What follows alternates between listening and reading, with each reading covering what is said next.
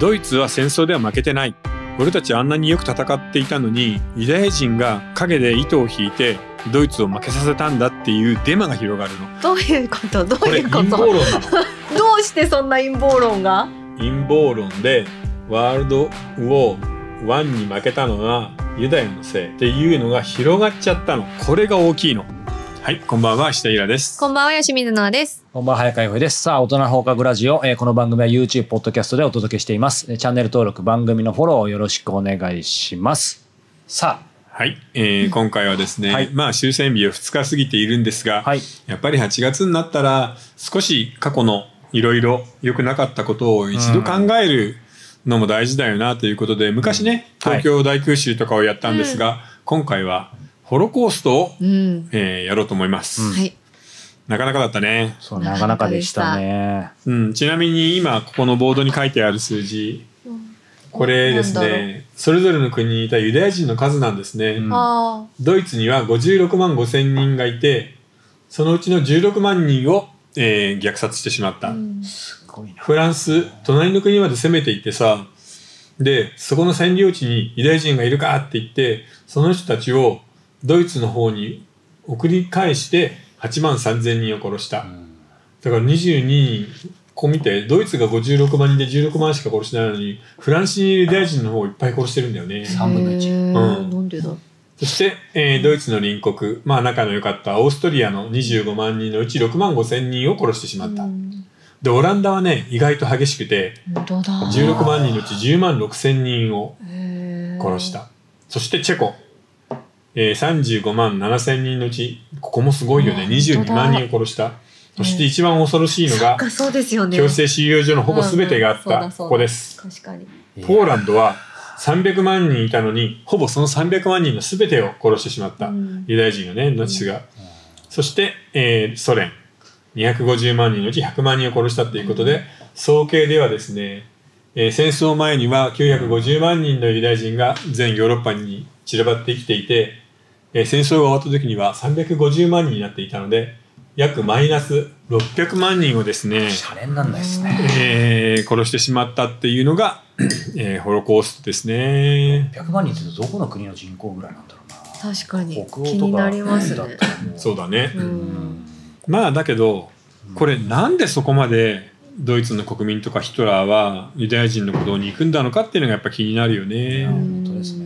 今600万人どのくらいかなと見てたら、やっぱりシンガポール、デンマーク、フィンランド、ノルウェあー。ーあたりが一国そのまま人がみんな消えちゃったぐらい。そうだね。んなるほど。これあの、うん。まあ当然その、えーナチスドイツ、うん。えっ、とヒトラーがえっ、とこういう政策をしたことによって、ユダヤ人が大量に虐殺されてしまったということなんですけど、うん。その背景というか、うん。そこに至るまでに多分何かあったはずだと思うんですよ。うん。そこまでそのユダヤ人が目の敵にされるというか、まあ一つはね一番古い話で言えばそのキリスト教徒の、ね。まあ始祖じゃない、うん。えーイエス・キリストが。うん。でジーザス、えークライストをですねまあ殺したのがユダヤ人だっていうことから始まるんだよね。でもそれって、うん。あのし事実かどうかっていうのは分からないわけなんですよね。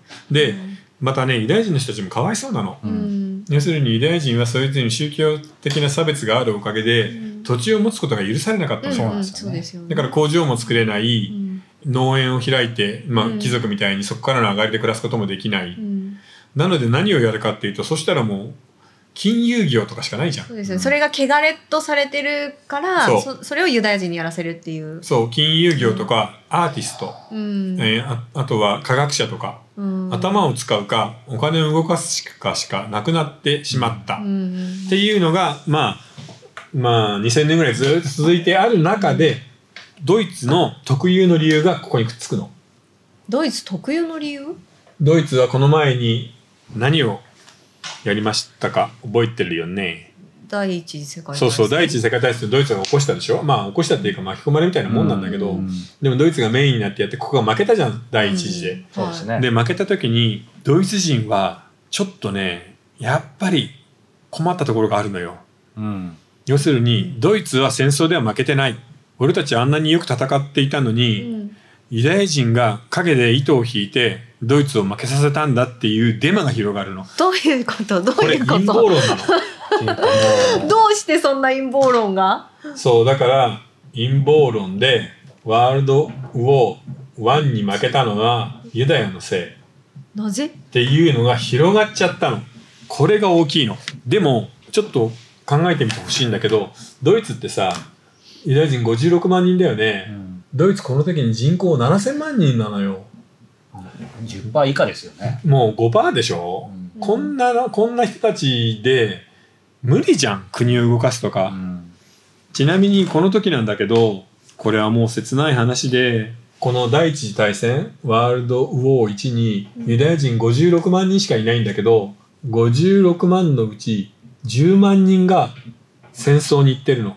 このうちの1万2000人が死んでるからうん。足を引っ張ってうん。これ戦死だよ。うんで勲章も30%ぐらいの人がもらってる。ものすごくよく頑張って戦った人たちなわけよ、うん。うん。それなのにこうなっちゃうんです。事実はこれね。うん。10万人も行って戦死者1万人以上出しているのうに、ん。お前たちのせいで負けたっていうふうに叩かれるわけ。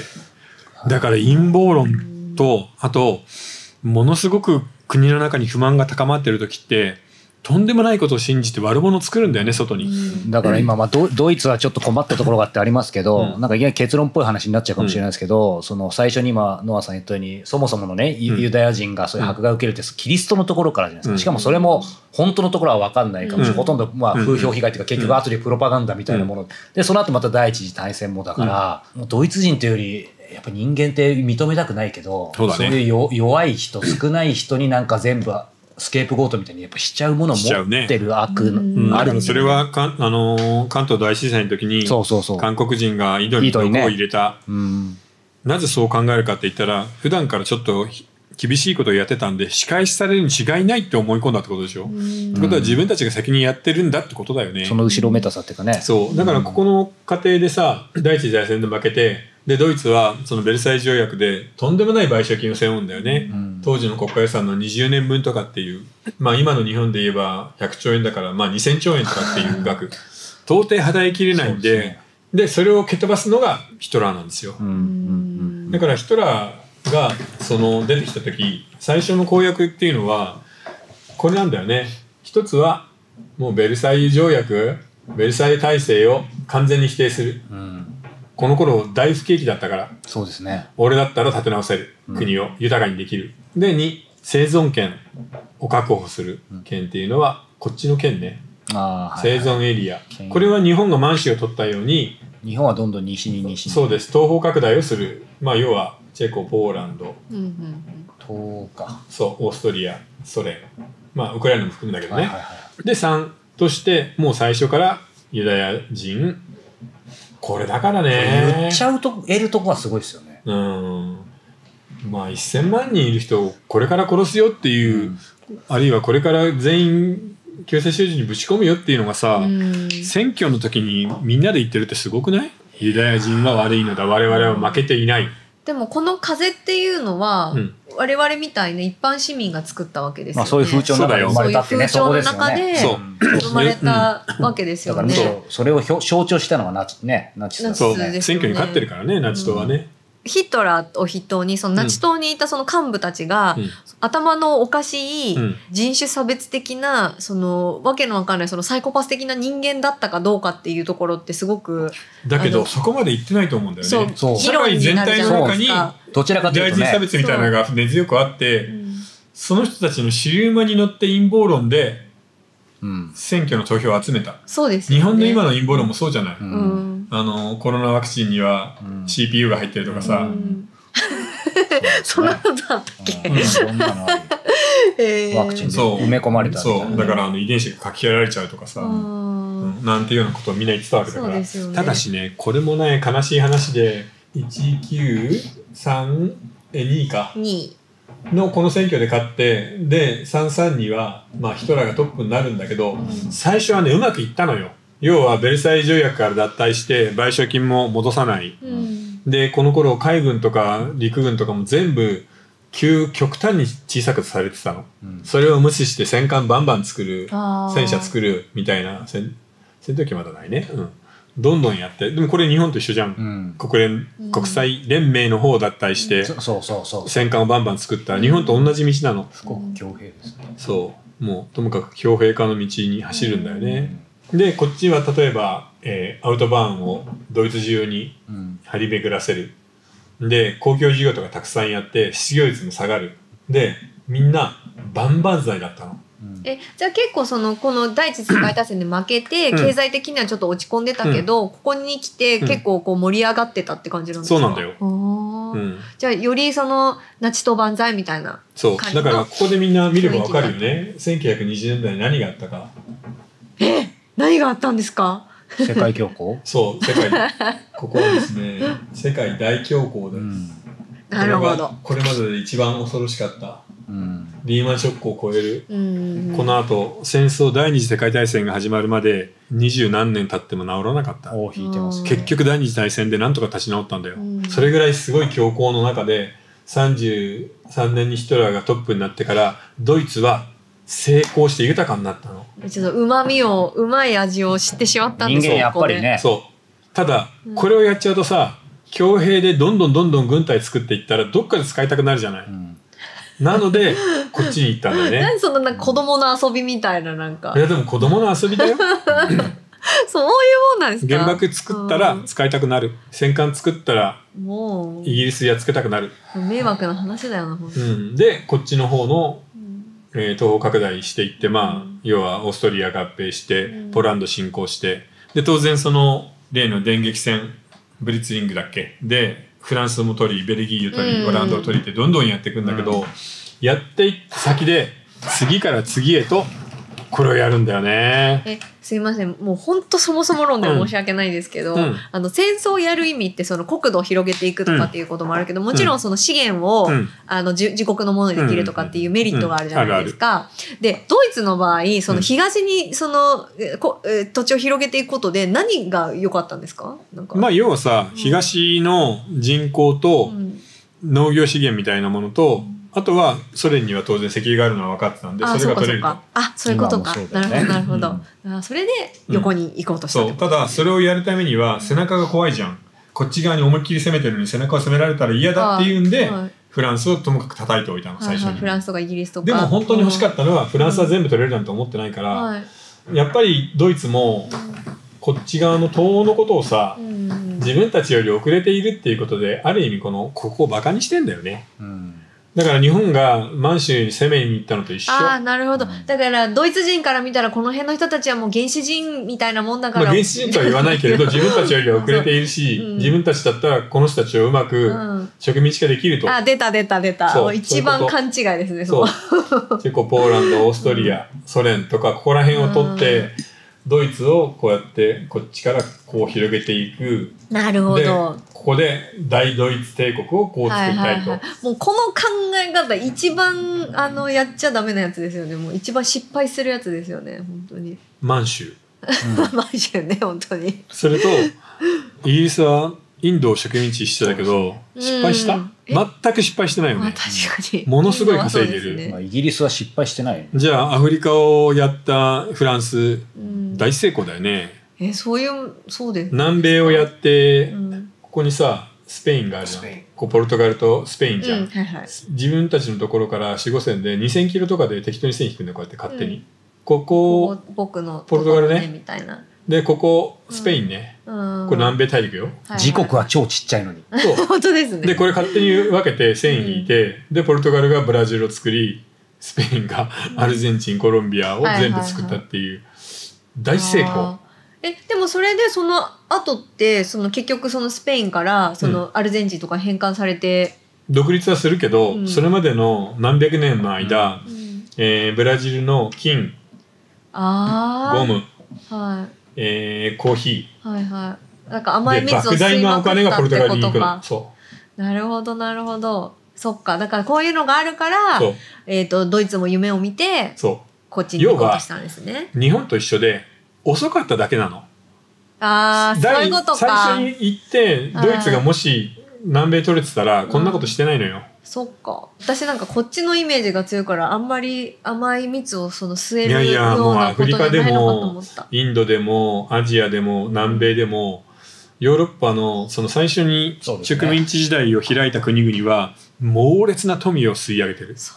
それ遅かったのはなんでなんですかねドイツが、ね。日本だったら島国だからとかなんまあか簡単に言うとドイツは海洋国家ではなかったから海洋国家じゃないから遅い。そう要するに陸の国なんだよねドイツって。はいはいはいはい。ロシアと一緒で。うん。例えばさオーストリアとかチェコスロバキアって植民地持ってないじゃん。ううん。ん海に面してないからね単純に。うんドイツにはその攻める力はあったんだけどうん航海が苦手だったし船で戦うことが得意でなかったの。日本もイギリスも当然海洋国家だしそう。ポルトガルスペインも海に面してるし。そうそういうことそういうこと。本当そう単純なのよ本当だ。に。へ地政学的な話ですよね。そうそう。でロシアは当然まあ海には面してるけど不登校がなかったから冬動けないようなところだとでっかい作戦できないじゃん。へー。ってことなんだよ。そうかなるほどなるほど。だから僕らがある意味考える複雑に考えるようなもんでもなく結構単純なとこからみたいなのそうね。ね。あとはドイツもヨーロッパの中では北だからうん。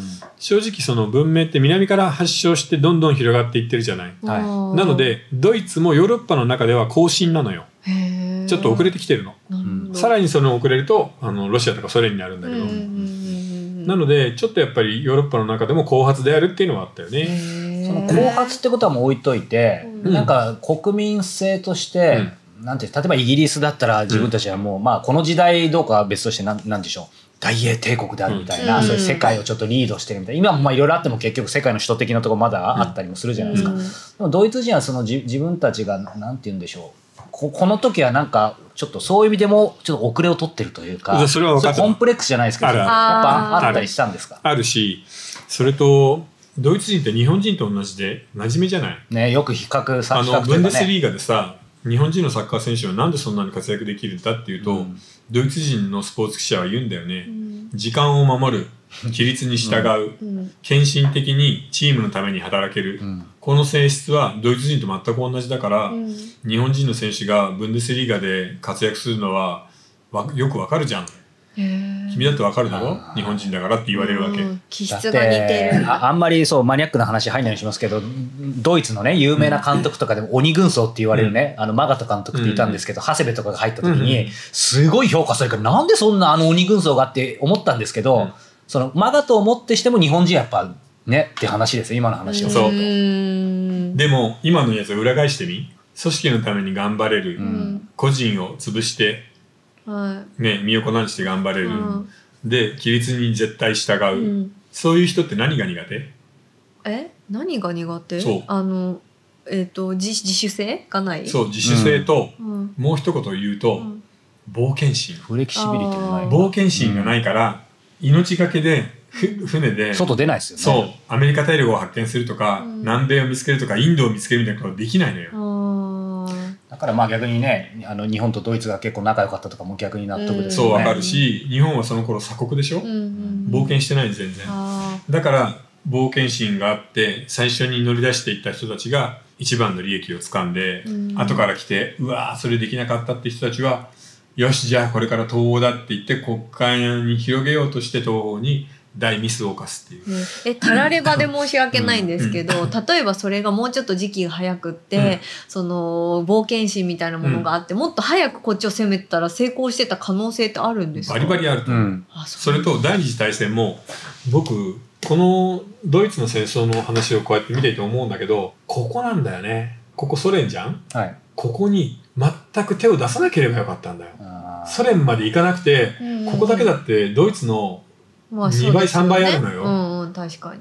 これで十分じゃん。欲を書いたのだってベルギーオランダ取ってさうんうんリトアニアの3国全部取ってでポーランド取ってチェコ取ってブルガリア取ってでもギリシャの方まで行くんだから。あそっちの方までそうギリシャからもあのユダヤ人運んで殺してるから。ャだからここで我慢してソ連とは不可侵条約を結んでここがドイツ第三帝国ですよって言ってフランスの半分取ってるからねこうやって。うんうんうんうんこれで十分だったのにここに行ったおかげで全てが崩れるんだよね。日本にそっくりじゃないですか、なんか。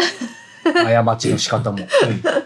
そう。僕は本当にここが実はドイツ人の大ミステイクだったと思ってるんだ。うん。ここでもう最初ね不可侵条約を結んでるんでその通りで一気にこっちに行かなければよかったんだよ、うん。この頃ソ連も全然力ないから。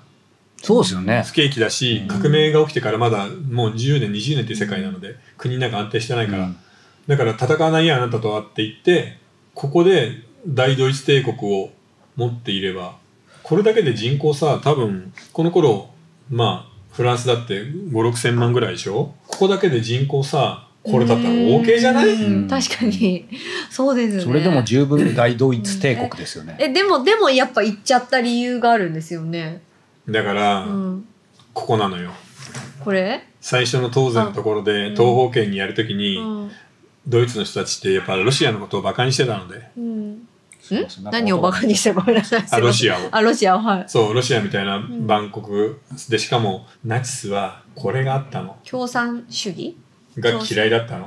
ああなるほど。え共産主義は嫌いだったんでしたっけ？だってユダヤ人と共産主義者を両方をそういうねそう殲滅するのがホロコースト。ユダヤだけじゃないあそうまあドイツ社会主義っていうのが一応入ってるんだけど、うん。共産主義は大嫌いで、そっかはいはい。はいでね一番。逆にユダヤ人みたいな禁煙資本も嫌いっていう。なかなかね難しいよくね性格なの。だってなんか真逆のもの嫌いって言ってるそう気がしますよねかうんだからここのところでねロシアみたいな国と戦わずにさここだけで止めておけばまだ持ったんだけどまあ無理だよなっていう。最初からやっちゃってるから。そうか。これがこれをもう成し得ないともそう。うっていうことでソ連まで攻め込んじゃってったんですただ当時のヨーロッパはみんなうん。ロシアが大嫌いだったんだよソ連が。うんうんうんうん。共産主義が自分の国に入ってくると怖いから、うんもちろん私それぞれの国は運動家はいたけど、どこの国でもまあソ連の評判は悪かったから、うん。だからまあこう負けるべきして負けたんですけど今のみんなソ連が嫌いだったっていう意味では、ドドイツがもしまあうん。普通の方ありえないですけど、うん。なんかソ連の方もうまく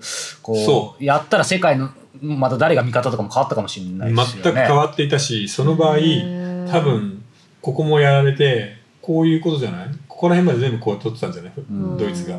恐ろしいよ。なんか フランスからスペインまでこうやって取って。あれ思い出しちゃいますねあのなんだっけ？高い城のとこ。高い城のとこ思い出しちゃいますね日本が勝って。まあこれは要するにソ連に手を出さなかった場合ね、はい。ただもうソ連に手を出したおかげで、ん。レニングラードのね市街戦で負けて、うん。そこでまあものすごい数の人が死ぬんだけどそれ以降あちょっとかなわないな、うん。やばい戦局が変わったぞってなっていってうん。これが激しくなっていくんだよね。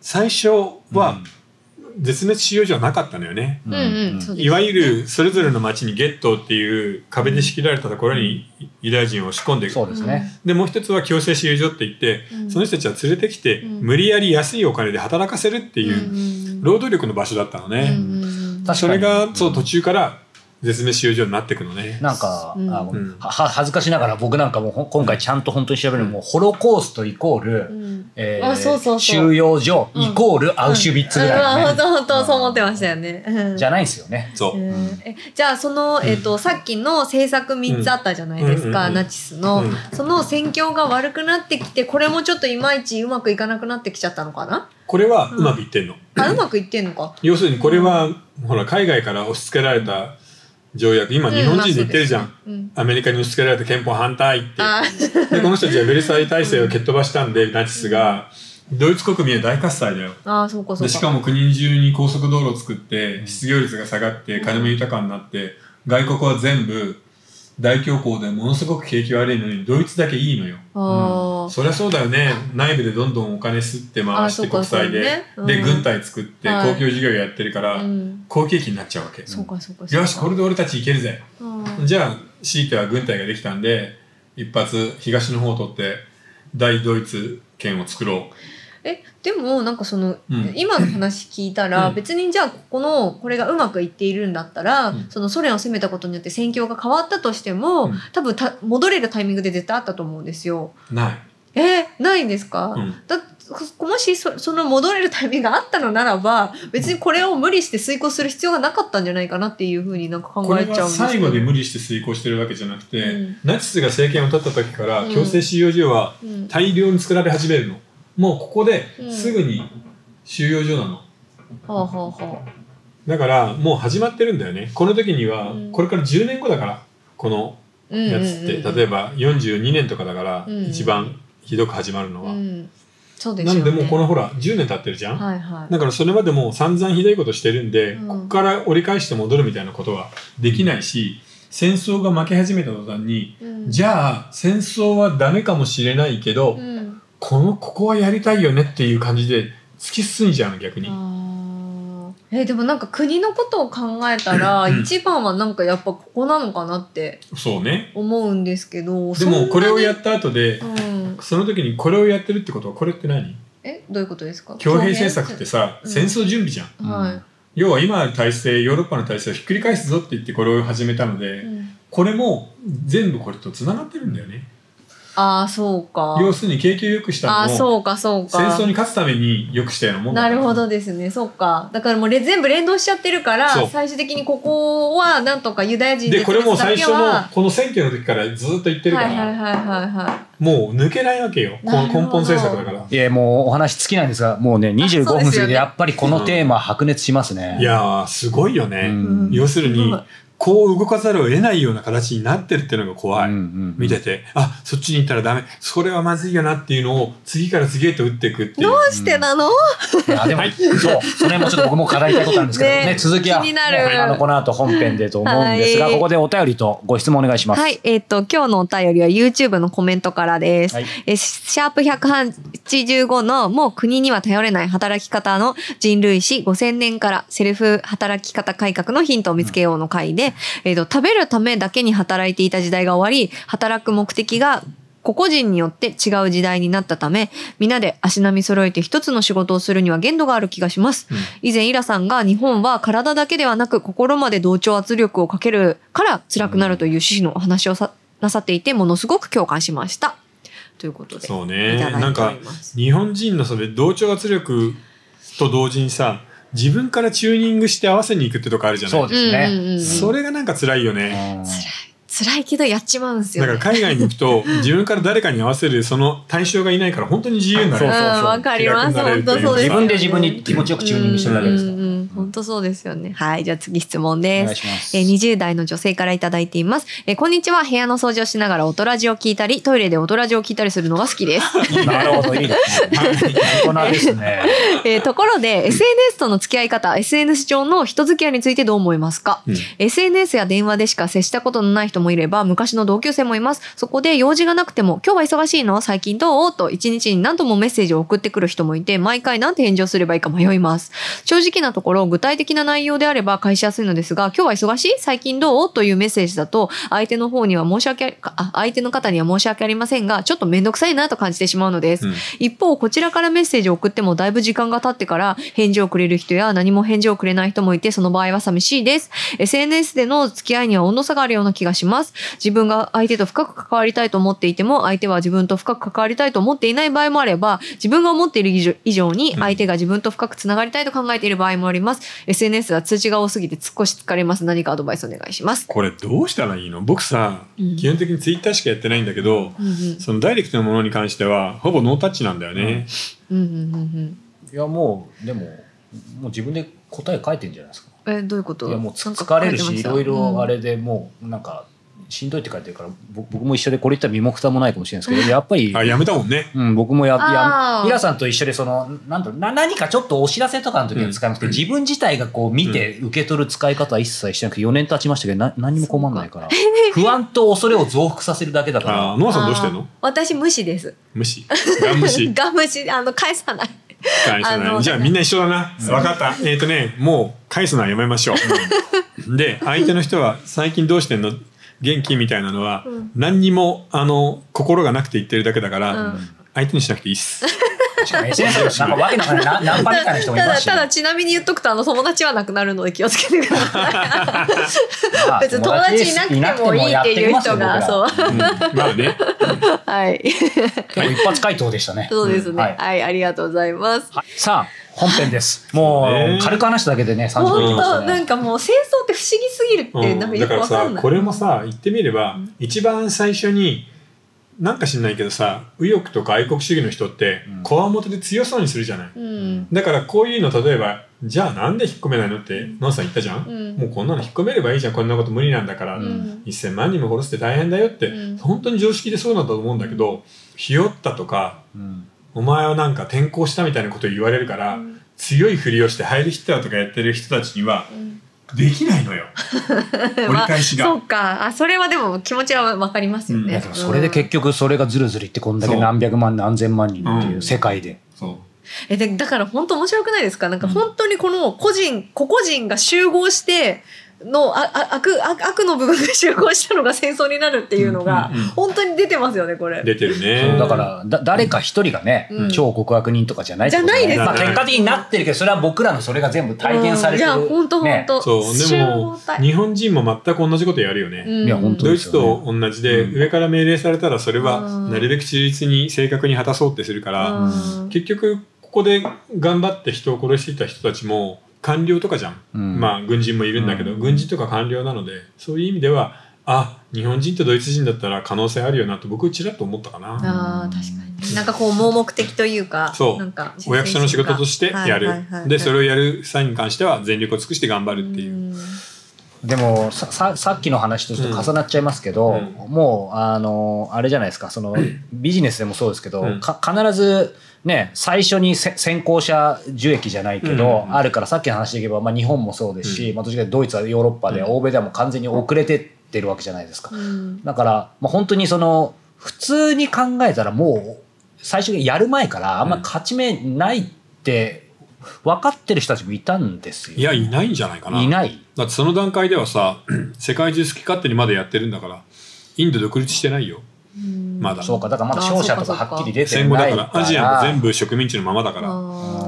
第二次大戦後だからね。うん。アジアが独立するのもインドも、うんうん南米だってアフリカだって全部ヨーロッパの持ち物で、うん。その中でドイツや日本がもうちょっと分取ったっていいじゃんって思うのは、まあ人情としてはわかる、うん。普通だもん、うんうんうん。ただ既得権で持ってる人たちは許さないよと、うん俺たちはもう全部抑えたんだからと、うんなのであと残ってるのはじゃあ東欧じゃない。うん。ポーランド行くぞ。うん。ブルガリア取るぞ。みたいな感じでドイツは言ってたんだよね。でもなんかあの前回の「君たちはどう生きるか」でね、なんか男たちはうん。なんかつ積み木やってるだけだみたいな話ありましたけど、なんかあんまジェンダーの話に持ってきたくないんですけど、でもやっぱりちょっともうなんか積み木とかゲームしてる、うん。で戦争の結局なんだかんだ言っても圧倒的にこう主導してる人たち、うん。今も昔も男性じゃないですか、そうだね。やっぱそういうのあるんですかあるね。だからさ、君たちはどう生きるかの中でも、積み木だけじゃないのに作ってたの。あれ作ってたじゃん。積み木とキャノピーを。戦闘機はいはい、うん。だから、ピストルと積み木を作るぐらいなんだよな。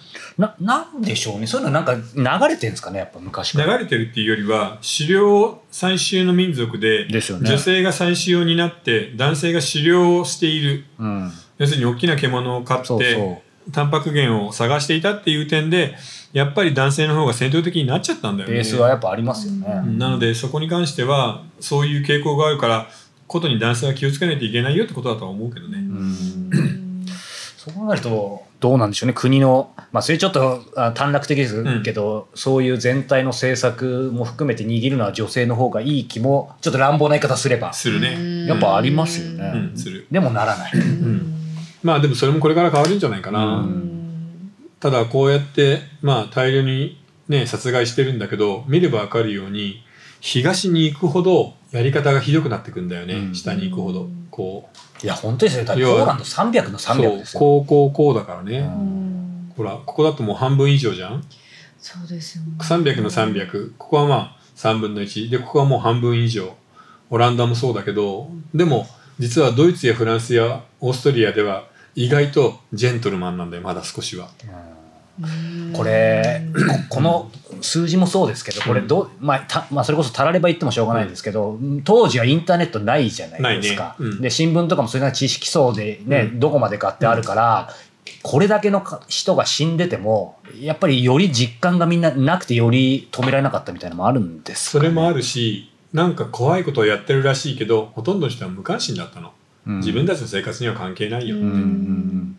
へだって人数少ないじゃんうんうんだって7000あ万全体としたら50 8%か、ーそう。あえちなみに、うん。なんかこのヒトラーがどこまでそのしあのしっかり指示を出してたのかみたいなーそういう話もあるよね、論争ってあるじゃないですか。あるねやっぱりそのヒトラーの、まあ、ユダヤ人を絶滅させるっていう一番最初の、うん。うんえっ、と、まあ、この公約があったから、うんとは思うんですけど、そのさ最終的にその、えー、と絶滅収容所ができたのが本当に10、えー、とこの党が発足してからうん。10年後ぐらいということで、多分それまで迷ってた、うん。どういうふうに扱うかということを。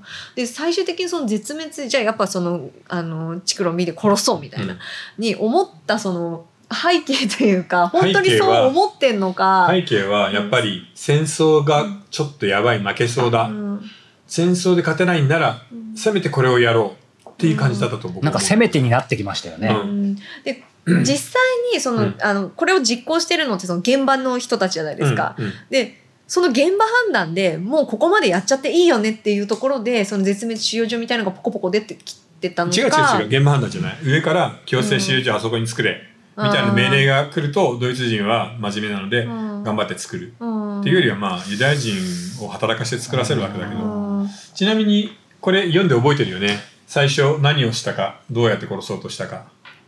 えっ、とあのガガス一酸化炭素。いや違います。最初は更新？じゃなくて？最初は本当に銃殺だったの。あ。ああの縁のとこに立たせてあ、そっか。どんどんこう。大きく開けた穴でうん。銃殺をするんだけど、銃殺は現場にいる若い兵士がみんな嫌になっちゃうの、うん。あそうです子供とか女性を殺す。そうですね。うん。でしかも銃殺ってあの映画みたいにさパーンって撃って一発当たったら一発でね。倒れておしまいじゃなくて、うん当たった後ずーっと泣き叫んでいる女の人とかおじいさんとかいるわけ、うんそれを毎日毎日やってたら現場の兵士が持たなくなっちゃって、うん。うわーこれはどうしようダメだなっていうことでここからなるべくここが怖いんだけど、心理的なうんうんそうだそうだ。負担がないものにはい。探すんだよねこの方法を、うんうんうん銃殺の次に試したのは実はこれです。ボンブです。爆殺ですあそうだ。部屋の中にそう部屋の中に入れて入れてで爆弾を放り込むと。そうだそうだ。ところがそれでもうん。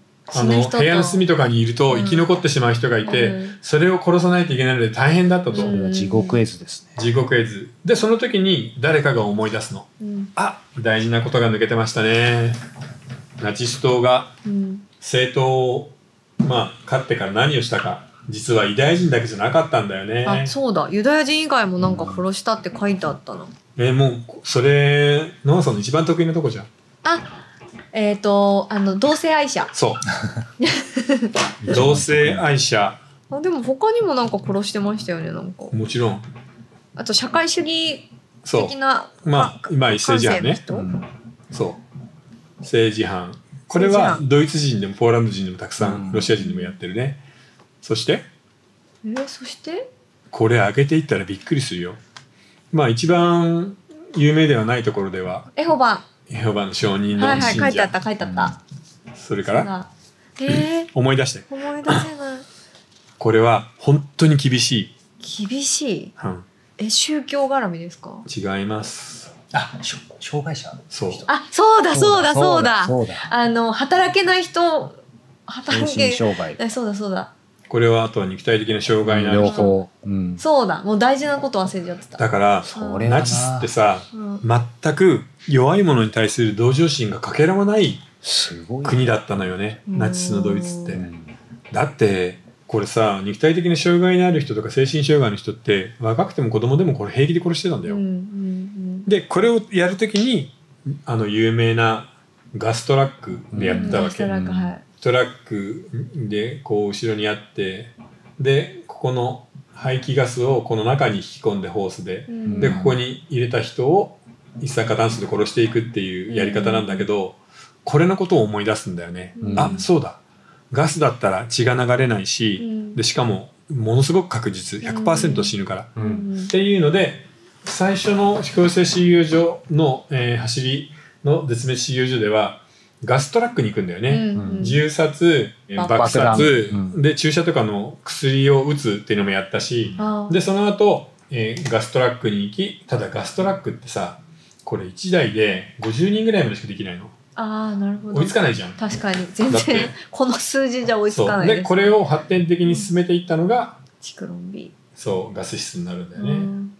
チクロンビーって何なんですか？あ殺虫剤か。殺虫剤なんだけど、要は生産ガスなの。うん。あーあ生酸カリとかの。そうそうそうそう。生産ガスをが発生する殺虫剤でまあ言ってみれば何かを染み込ませたこう塊みたいになって、うん。そこからあの部屋に置いておくと生産ガスがわーって出て、うん。部屋中の虫が死ぬっていうやつ、うんそれを人間に応用したの。たくさんんあったから、でもさ切なくない？ある日こう言われるんだよ、あ何、うん。あどうぞ。あ何ごめんなさい、これ、うん。あのーどれどれ？ここ、うんこれって明日は我が身じゃないですか。だってうん。同性愛者かどうかなんて分かんないし、政治犯なんかエホバの書にあの私すごく不思議なのが、うん。その私ユダヤ人ですって言う人っていないと思うんですよ多分。でも分かっちゃうんだよね。名前とか違うなんで分かっちゃうんだろう。あとは親戚から、お前の親戚の名前全部あげろ、うん。そういうのをドイツ人って真面目だからダブルチェックするわけよ、うん。親戚にも全部あげろ、うん。みんながつながっていっちゃうから。だってこれ勘違いで、うん。そのお前精神障害者だろって言われて違うって言っても一回そうだろって言われちゃったらもうそ病院の中にいるような人たちに関してはもうそういうの取らなかった。もう証明できないですじゃないですか。なんか自分がそうじゃないことが。だからそれに関しては別な医者がカルテだけ見せられてその人を殺すかどうかを決めるんで、うん。一人一人に問診とかしないの、うん。どれぐらいひどいかとか。あそうですよね。だからもう医者がこうやって見て別な病院のカルテを見て、ナチスの医者がこうやってこうやってチェックをつけたらもうその人は送られて殺されちゃうのバスそうですトラックでよね。なのでもう全然そんな忖度なんかない。これだからドイツ人も結構殺されてる人、だからこれ全部ドイツ人。あそっかそっか。どただそのそのなんて言うんでしょう、こうん。こういう分類に当てはまらない本当にうん。ノーマルなドイツ人、うん。でも勘違いされて殺されちゃってる人って多も分いるとちろんあるし思うんですけど。例えば自分の性的をあいつは革命を狙ってますよっていう感じでここに送り込んだり、例えば商売上げたけどあいつは同性愛ですよみたいなことを言ってももうちくりあり放題だから消されちゃう。で。もそうなるとなんかだんだんこう不信感生まれませんか？その政党に対しては。だから逆に言うとうん結束するの、今の中国でみんながど習近平に行くのと一緒だよ、うん。怖いからあの人たちに睨まれたら危ない。んだったら忠誠心を見せないといけない、うん。習近平主席は最高です学校の授業でも毎週毎週習近平思想を学ぶ時間がありますっていうふうになるわけ。現場。はね。そういうことか。うん。そう。なるほどね。だからもう抜けられなくなっちゃうんですね本当に。そう。それなのにヒトラー自身はさ別に、そのいわゆるアーリア人ではなかった金髪壁眼ではなかったっていうのがちょっと笑っちゃうよね、うん。これもヒトラーコンプレックスあったのかな？ね、出てきましたけど、やっぱり最初もありましたけど、芸芸術家になりきれなかった、うん。もう本当一時ホホームレスみたいなところから。で、でもやっぱりその中でもいろいろね、見たりすると、やっぱりとにかく弁弁が立っていた、うん。ってありますけど、実際、僕それを生で見たわけじゃなくて、本当にめちゃめちゃ弁は立ってて、やっぱもうそれだけでみたいなところなんですそうだよね。ね。あとは今 YouTube でさ、うん。右翼系の愛国チャンネルとかやってる人たちって、うん。みんな男らしくて断定的だしうん。すごいこわもてじゃない、はいはい。うん。ねあんな中国なんか叩き潰せばいいんだみたいなことを平気で言うけど、ううんん。そこよねって思うその強さみたいなのふりをしている。でもそれにみんな熱狂しちゃったんだよね。うんうんあなんかそれがヒトラーの元みたいな。そう。だから愛国者ってなんか割と類型的なのでやっぱりちょっとそこは気をつけないとね。うん。あと仮想敵を作るって危険だなって本当に思う。本当ですね。本当なんかだからユダヤ人を最うん。初に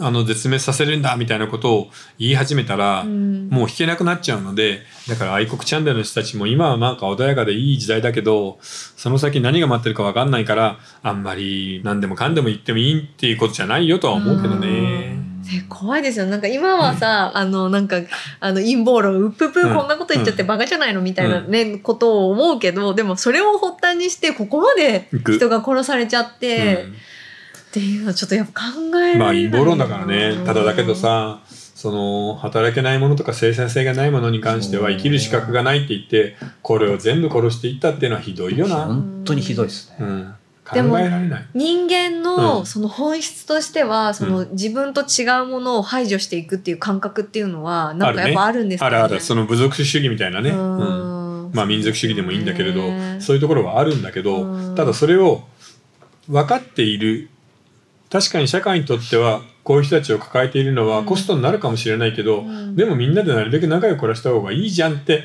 いうそこの常識がもうぶっ飛っちゃってんだよね、うん。ドイツも苦しいんだから。えそのうこういう人たちを殺すのは当たり前なんだっていうふうにやっぱりその国民も思っちゃってたってことなんですか？そうだよ。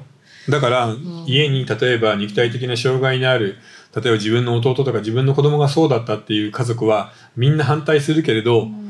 でも何にもできないんだよね。うんでもこれね、まあ今、まあだからその人間の一番ある意味あ悪とうん。一回動き出したら止められないっていう意味での、うん。まあある意味史上最大の最悪の部分がこのナチスですけど、うん。やっぱり今日もね、あの、後で出るかもしれない。やっぱりそれ別にドイツナチスだけじゃなくて、うん。まあに日本軍もやっぱりあったりするわけで、そうだね。だからなんか、何が悪っていうよりね一回それをもう動き出しちゃうと大きなうねりは止められないっていうのそう、を知っとかないと。やっぱ人間ってこうだよねっていうそうことですよね。そうそうそれのもう一番出ちゃった感じ。そう本当早川さんの言う通りこういう性質が自分たちにあるんだっていうことを知ってるのと知らないので、うんやっぱちゃんと受け止めた方がいいですよね。だから他人事じゃないよ。うん今の形で言えば、生活保護叩きなんて全くこれと近くない？あ本当ですよねそうでも生活保護今どんどん増えてるみたいですよね、うん申請する人がね。でもそれはほとんどがさ、うんもう単身で働けなくなってる老人だっていうのもちょっと覚えておかないとね。あーなるほどね。うん、だからそう考えるとねちなみに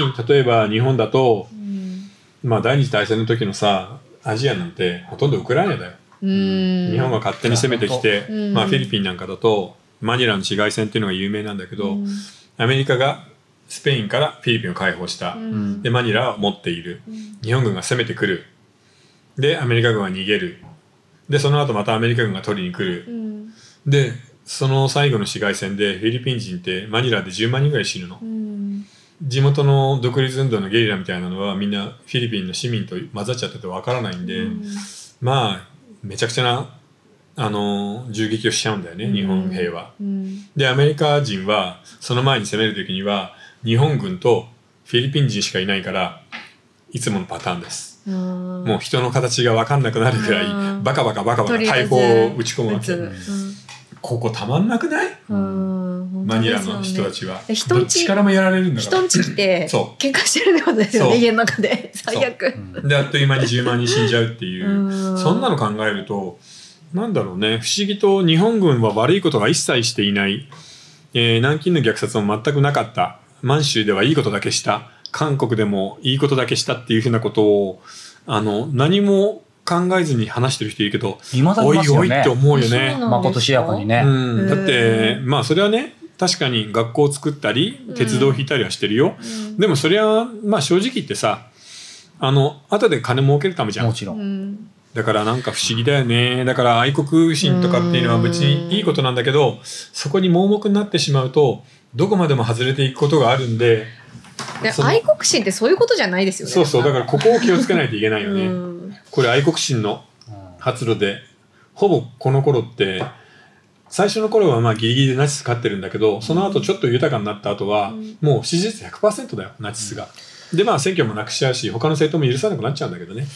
まあ、愛国心とか、まあ、それも盲目って言いましたけど、うん。なんかちょっと聞きたいんですけど、まあ、うん。だからそれ当時、まあ、言葉一緒かもしれないけど、そのマインドコントロールされてたとか、うん。あとまあ逆に戦時下だからうん。麻痺全然違う違う違う。してたとか、そんなことないうがだするいやな何が言いたいかっていうとただまあ、うん。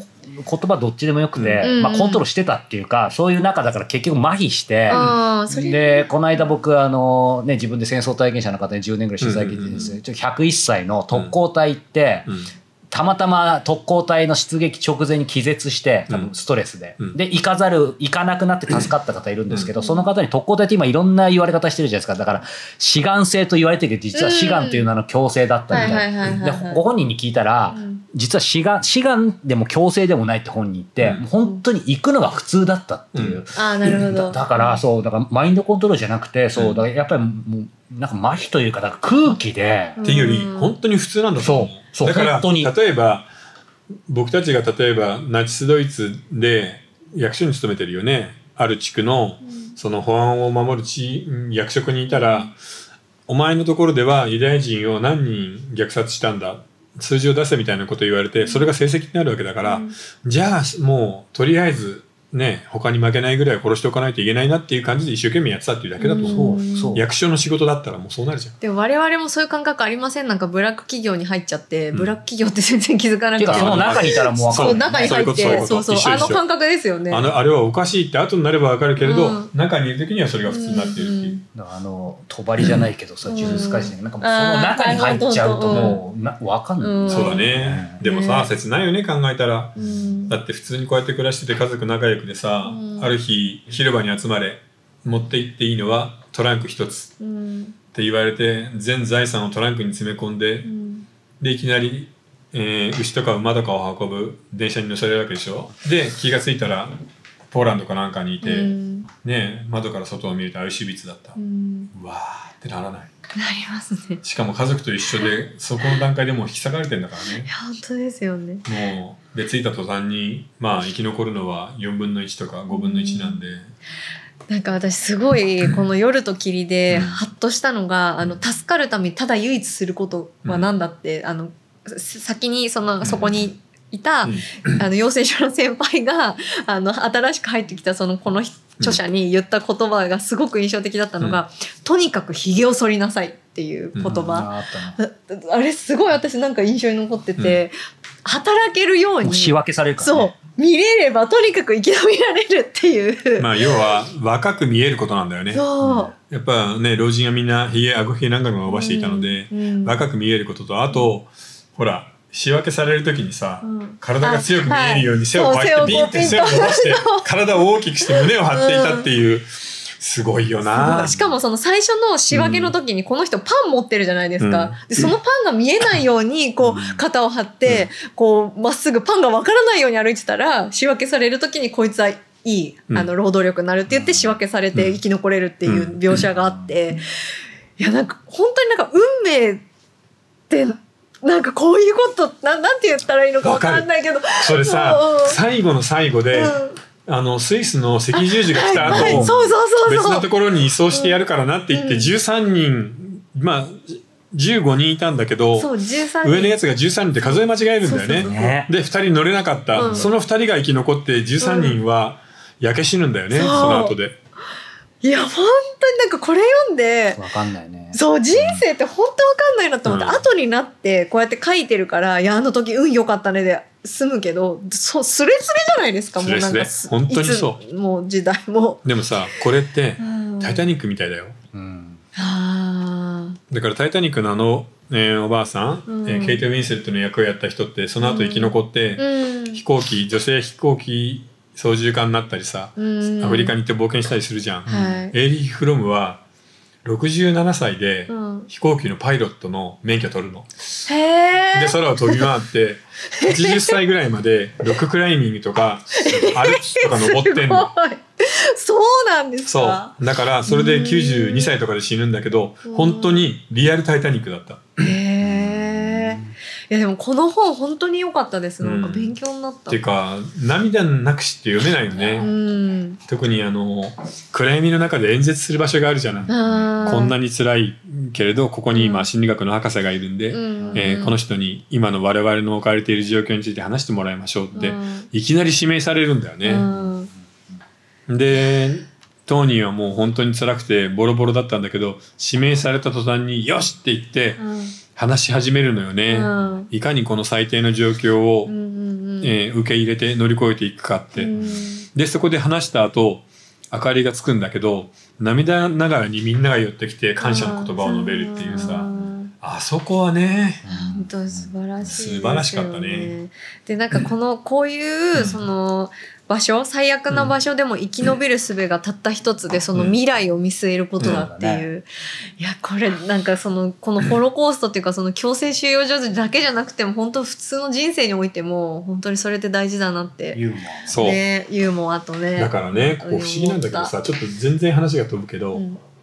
ドーパミン、快楽物質だって言うじゃん。アはい、これを例えば猿にネズミでもいいや、うん。えースイッチを押すとうん、ドーパミンあ餌が出る。あはいはいはい。でそこのスイッチの上に明かりをつける、うんうんん。そうすると今度はスイッチを押す前に明かりがついた瞬間にドーパミンが出るようになる、ということはうん。ドーパミンっていうのはただの快楽物質ではないの。え？ただの快楽物質じゃない？うん、なんで何の快楽物質だ？トリガーが何かっていうのを考えて。スイッチを押した時うん。に餌が出るのは経験。ついている、うん、でもスイッチを押す前に明かりがついた瞬間にドーパミンが出るってことは、うん、記憶？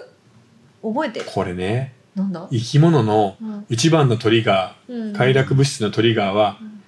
未来へのうん。希望だったの。うん。未来に何かが起きる。そのそうすると未来に良いことが起こるぞっていうのでドーパミンが出るっていう仕組みになってたの。なるほどそういうことか。でこの報酬系がうん。実は人間を動かす最強の力ってことになるわけよ。へだから僕たちに何でもなくさな希望なんてないよ。未来なんてもうダメじゃん日本なんてって言うけど、うん。この未来の希望があるおかげでどこまでも伸びられる。うん。だから本当にそうなんですよね。本当にそうなの。綺麗事とかじゃなくて。うん。大谷三笘久保君藤井君快楽物質が未来への希望がトリガーだなんてさこんな恐ろしいことをよくデザインしたよね。まあ大きくはここで小さくは梅干しだよね。そう確かにうなぎとか想像しただけで。だから逆に言えばどんなに現実が厳しい時でも、これを探してるとこれが出るってことはそうですね。死にそうになった時に生き延びるための力としてこれを作ったんだよね生物は。あーそうですよ脳の中ね。えででで自分でそこからつ勝手に何もなくても作り出せる。どどうです？もし本当強制収容所入ったら生き残れるそうですか？自分たち。あのね僕小説にも書いたけど、うん。えー誰だっけな？これロシアで暮らしていたロシア系の話があの得意な女性作家が書いた本なんだけど、やっぱりロシアにも収容所があるわけさ、うん。で楽しみが何にもないの。うん。寒いでしょ、うんでみんな凍傷とかになってるわけあちこち、で一日にやっぱこのアシビツと一緒で、うん。腐ったキャベツの葉っぱが浮いてる薄い塩のスープと、うん。カッチカチの黒パン一切れみたいな感じで暮らしてんの、うん。で楽しみが何にもないんでそうするとその人たち何したと思う？踊った、うん。歌歌う。うや歌を歌うほどの力はもう残ってないしそう。みんなベッドで横になって体をくっつけ合って横になって自分が読んだ面白かった本を思い出す、うん素敵って言ったらあれだけど、うん素敵ですね。えで不思議なんだけどそういう状態になると思い出せるんだって。ー、へえ。だからみんな夜になると、えー何でもいいよ。ジャン・クリストフでも、うん。えー大いなる遺産でもまあ戦争と平和かもしれないね、うん。そういうのを何時間もそれを覚えてる人が話してくれたのいや、なんていい話なんだろう。そっか、物語ってやっぱ人の救いになることなんですね。そうだから、うん。そのドーパミンみたいなものがうん。こういう希望だと、そう。ただ物語はさ、うん。よしあしなんだよね、この物語ってさ、うん。いい場合は今みたいにうん。生きるための力になるんだけど、うん。こうくっつけときあるじゃん。アーリア民族のあ優秀さ。あ、なるほど。我々はアーリア民族の優秀であるっていう物語だから、うんうんうんうんだからこれは本当に良くも悪くも働くんだよね。そうなんだ。でも人ってそういうことにやっぱ動かされるんですね。動かされる。物語には動かされるし、この未来の希望も逆に残酷でも残酷だとも思わない、そうですね。もう死ぬって分かっているのに未来の希望によって生かされてしまって、うん。最後の最後まで頑張って死なせるっていう、うん。さっさと諦めた方が楽だっていう時あるじゃん、うん、ある。ありましたよね。なんかそこの中でもそう、うん。だから本当に限界まで死と隣り合わせになると文化的興味を失われて、うん。性的な夢も見ずに、うん。ただし政治と宗教への関心はっていうのもね、うん。だからなんかまああんま明るい明るい未来とは違うけど政治と宗教だったらなんとかみたいなね、うん。なんか人間ってなんかなんでしょうね。でもそういうことをさ、うん。ちゃんと考えることが大事だよね。だから年に1回8月ぐらいにはさ人間のその本当。一番良い部分と一番悪い部分をちょっと考えてみるっていう時間を作るのがいいんじゃないかな、うん。いやー深い。これちょっと また話がでかくなるんですけど、なんかさっきのね、あのこのナナチ党がうん。こういうふうにまあいろいろ政策やって、うん。まあな徐徐々にではあると思うんですけど、でもその結果だけを見てるとある意味さっきの話ですがあある日突然、うん。もうユダヤ人の人たちがね、うん。もう今日からうあの出てけとか、うん。どっか行けって言ってもカバン1個しか持たされなくて、うん。だからそのそこだけをまあ今デフォルメしてかなり話してるにしても、まあ、ドラスティックこの上ないじゃないですか。だそういう国と政治の危うさというか、うん。今はもうそこから7 80年経ってますけど、うん。それは今もうそこまでの危うさはないんでしょうか？ちょっと分かりづらいかもしれないですけどある日突然、あのねそれに関して言うと、うん。やっぱりその国の体制の問題が大きいと思う、うん。権威主義体制の国ではまだ全然ある。まあだ中国もう全くロシア。や中国ではそれはもう普通のことだから、うん。ある日突然お前は国家に対する陰謀を持っていたな、うん。YouTube ではプーチン同士のことを悪口言ったろ。うんぐらいで刑務所だね。っていうかシベリアの刑務所。最悪暖房のないシベリアの刑務所。そこしそれ、それは個人ベースじゃなくて、まあ、今回、今回この対戦だとユダヤ人でしたけど、そのくらいの規模の何かスケープゴートであるい特定の集団、民族、うん会社かわかんないですけど、うんまあでも中国はもう十分あり得るか。あるよね。あり得るっていうか、あるか。ある。あるし例えば、それは例えばさ、今回のその共同富裕とかでも、そうですねあの IT 企業の大手とかにさ、寄付しろとか言うじゃん。うん。そうすると、ははーって言って、即日1000億とか寄付するじゃん。うん。そういうことだよね。でも全体、まあその、その国に当たっちゃうともう本当国、国ガチャじゃないですけど、ですけど全体としてはやっぱりそれでもかなり減って良くなってるっうん。て思いたいし、そうですよね。だって考えてみればさ、うん今から200年前は絶対欧州の国が世界の90%以上占めてたんだから、全然変わりましたね。うん、全然進歩してる。うんうんだから実際に歴史を見ればわかるよね。うんうんうんそりゃ、フランス革命やるわ。うん。うんだってうん、パンがなくて食えないんだから。うんうんでそう考えると、ちょっとずつ良くなってるし、いまだに専制主義の国もあるし、うんただし、民主主義も、これも、完成は全然してない。そうですよね。その話もしましたよね。日本だって、まだまだ全然ダメなとこあるようね。ん格差、女性問題。この結果、少子化にもなってるしうね。んで、経済も難しい。再チャレンジしづらいですよね。そ起業もしづらいしう。。全然ダメだけど、でも、まだいいところもある。うん。なので民主主義完成されてないってことはこれから完成するかもしれないけどこれが怖いよねまたまたそ要するにわかんないよ。なんかわけのわかんない新しい極右政党みたいなのが出て、みんなが「うわいいね。また特攻隊やろうよ」みたいになるかもしれないからね。う。そう思いたくないけど、なんか簡単にね、うん。一気にノリでいっちゃうみたいなのは今またありますもんね。日本は今そんなに苦しくないじゃん、ん。まあ大変だとは言ってるけど。全体で見ればね。そう。だから中国やアメリあのロシアほど厳しくないけどそういう状態になったら分かんないよね日本人の性格から言って僕はちょっとやっぱ怖いなとは思ってる、うん。やっぱり上の言うことには本当に言うこと聞くし、うん。お上なら間違いないっていうどっかその江戸時代のまだ盲信ありますそうよね。なんか農民の精神性が残ってるわかからね。る怖いですちゃってるよなえーっていうのをでも一年に一回でもちゃんとこうやって考えないとそうですね。そうだねね。ちなみに、えーまあここのところだねこの950万人350万人のまあ600万人が亡くなるわけだけどまあこれも日本と一緒なんだよね。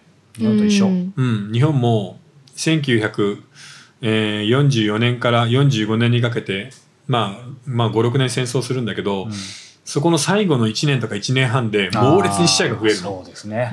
まあ、と空襲があったっていうのもあるし、はいうんあのあちこちの島で負け続けるっていうのもあるんだけど、うん最後の1年にさドイツも降伏できないんだ早く。実はこのアウシュビッツの収容所の話もやっぱり最後の1年2年がひどいわけよ。だから引き際というかね、そう。ね負け際というか。そう。でしかもドイツ人の悪いところここはね本当にひどいなって思うんだけど、この42年ぐらいからやって43年44年にかけてものすごく強制収容所、じゃあないね絶滅収容所でうん。たくさん人が殺されるんだけど、うん。これはやばいぞってなった43年の終わりぐらいから、うん。ここを潰してうん。解体して埋めていっちゃうの。あーありまああそうしたね。ですよね。そう。だからアウシュビッツみたいにそのまま残ってたところもあるんだけど、うん。その前に作った3つの強制収容所絶滅収容所に関しては、うん。証拠隠滅でごまかしちゃうんだよね。なかったことにすると。だから悪いことしてるって分かってるってことですよね。非難されることをそう。だからこれは戦争犯罪だ、うん。戦争が負けた後自分たちが裁かれるから証拠を消してやるっていうふうにいくっていうところがねうん。さすがにドイツ人は日本人よりそこら辺はずる賢く頭が回るというかさ、うん。日本は別に何かやった後隠すとかしてないもんね平気だったから、侍、侍みたいなところありますからね。ごまかさないみたいな、うん。いやー恐ろしいうん。ねちなみにまあアウシュビッツが一番規模が大きかったんだけどね当然、うんもう人口10万人ぐらいの都市っていうイメージでいいと思う。うんうんうんうん。それがもうほぼ全部でその人を殺すためだけに作られたっていうのがまたすごいよな、うん。ですね。さあ、ということで、ここでちょっと質問入れましょうか。はい。はい。えー、安太郎さん28歳男性です、えー今年の4月からメンバーシップの会員になりました。お三方の話すテンポやトーンが聞き心地よく聞いているだけでもリラックスできます。さて相談なのですが私は彼女いない歴年齢の28歳男です。うん童貞です。うんえっと、平日は地方公務員として役所で無感情に働き、うん休日は俳句を作ったり、小説を書いたり、映画を見に行ったり、ゼルダをしています。なんか教養のある人っぽくない？なんかいいです。素敵ですね、なんかね俳句。作るんだうん、女性に興味がないわけではありませんが万が一恋人ができたりしたら自分の時間が減ってしまいます現在ソロプレイでとても楽しいのですが30代に入る前に頑張って恋人を作って恋愛を経験した方がいいでしょうか？えー女性に受け入れてもらえるよう容姿や服装に気を使ったりわざわざ出会いの場に行ったり面白くもない話に笑顔でうなずいて共感してみたりそういった努力をして恋人ができたとしても自分の好きなことを好きなようにできる時間が減ってしまうのであれば割に合わないと思ってしまいます。うんうん。それでも恋愛はしといた方がいいですか？あのー正直言ってさ恋愛に関して全く合わないっていう人いるじゃん。うん。いわゆるそのアセクシュアル、ん。性的な興味もないし恋愛は好きじゃないっていう人はしなくていいと思うよ、うん。ただこの人の場合は自分を変えて変な場所に行って無理やりモテようとするのが嫌なわけでしょ、うん。俳句作ってるんだったらさ区会とかでさ、うん若い女性に会わない、うん。うん。そういう趣味のところで話が合う人からちょっとずつ探すぐらいで、できたらいいなぐらいの方でいいんじゃないかな、なんか、無理やり作ることないよね無理やり作ることないし、なんかすぐできそうな気がするんですけど、このうん、文章だけ読めるとこのね。文章の感じだったらねただなんかその人と会う、その女性と会うタイミングが少ないっていうだけなのかなっていう気がそうだから自分の趣味の中でうん出会える限りの人と会うでその中で波長が合えば付き合えばぐらいのことで別に一生独身になったけど全然構わないからね、うん。ただあれですよね、そう、結果的にはそれでいいと思うんですけど、いずれにしてもその、今まで、あの、恋人、うん。こ今まで恋人もいなかったのかな？いなかったみたいであれば、いずれにしても、その、イラさんおっしゃるように、結果的にこう自分に合わないのの判断もうん。してみないとわかんないから。そうだね。だからそういう意味ではもったいないし、あと個人的には、まあ僕ら含めてですけどね、今の世世の中の中でこの割に合わないとか、うん。ソロプレイで楽しいってすっげえわかるけど、うん。まあだからこそね、そうだよ。ちょっと一回それと外を経験して今みたい28歳で童貞でしょ、ん。で想像してただけじゃんうんだからエッチしたらめちゃめちゃハマってこの人がすごいやりちん廃人になるかもしれないからね あ、やりちんはいじや。やりちん配置いっぱいいますからね。うん、だから、ねれ試してみたら、うん、小林一茶みたいになるかもよ。そうそうそうそうずっとそのこと書いてるみたいな。うん、面白いですね。なので、それどっちでもいいけど、まあ一回試して、やっぱ合わないなと思ったらやめればいいし、ぐらいの感じかな。うんどの辺なんだろうな、地方っつってもね。そうだねこ出会いの場があるようなで地方なのかも地方で、さ、地方公務員でちゃんと淡々とやってますっていう人で、休みの日には俳句を読んで小説を書きますんだったらめちゃめちゃモテない。いいですよねねめちゃめちゃモテる。28歳の時ていうか、普通に私こういう人とデートしてみたい。だよね。うん恋愛ぜひね、そうだねまあ、ともかくあの若い女の子がいる区会に行って頑張ろう。俳句がうまかったら絶対モテるから区会行って。はい。うん。さあ、ということで、えーイラさん、今週の一冊を。はい、え今週の一冊はですね、今の話にぴったりでしたぴっ。たりですか？えー村田沙耶香さんの消滅世界。お、村田さん来ましたね。村田さんってあの基本的に男性女性の二項対立みたいなものは嫌だし、う。うんん。異性愛みたいなものはもう嫌だっていう人じゃない。うんで消滅世界は基本的に夫婦はセックスはしないんです。うん。うんうん夫婦でセックスをするのは禁止相関である。なので夫が、なるほどねキスをしてきたりすると警察に届けたりするの。